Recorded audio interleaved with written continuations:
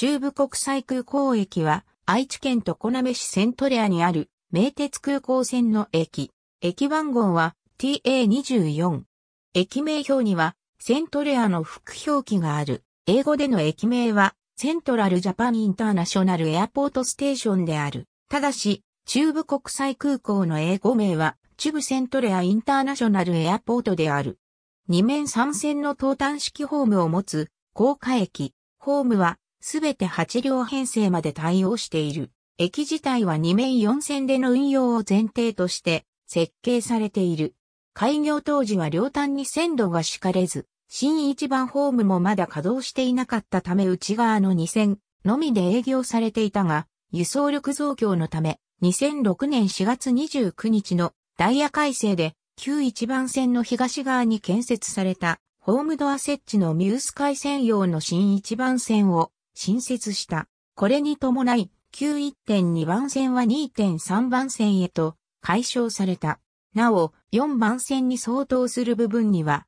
線路が敷かれておらず、今のところ増設する予定はない。1番線には、ミュース海しか入線しないが、他社の有料特急専用ホームとは異なり、中間改札はない。会場にある駅であり、また、鈴鹿おろしと呼ばれる強風が吹き込むのを防止し、冷暖房効率を上げるために、ホームはガラス壁で覆われている。また、空港の出発、到着ロビーまで段差なしで接続されており、ホームから出発カウンターまでカートが利用できるようになっている。ユニバーサルデザインに対応した駅である。日中ダイヤでは、毎時07分にミュース海名鉄名古屋行き、37分にミュース海新沼行き、17.47分に特急名鉄に不行き、22.52分に準急新加に行きが発車しているに普通大田川行きも発車。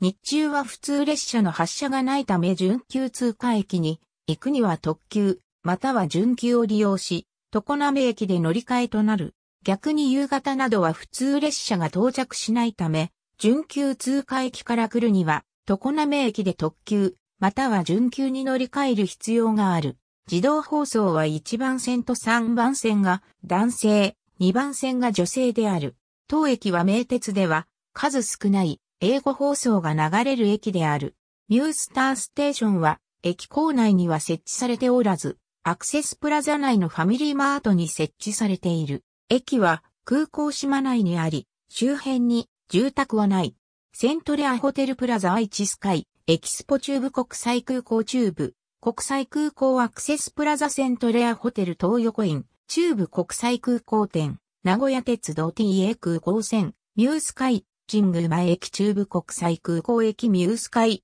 特急、快速急行常滑駅中部国際空港駅、急行、準急、普通臨空常滑駅中部国際空港駅、令和元年度移動等円滑化取り組み報告書。名古屋鉄道、2020年11月24日閲覧。駅時刻表、名古屋鉄道、名鉄バス、2019年3月24日、閲覧。電気車研究会、鉄道ピクトリアル通関第816号2009年3月、臨時増刊号、特集名古屋鉄道、巻末折り込み、名古屋鉄道廃線略図名鉄120年史、編纂委員会事務局、名鉄120年、近20年の歩み名古屋鉄道、2014年、160から162ページ。ハットと、粉目の統計と粉目し、ありがとうございます。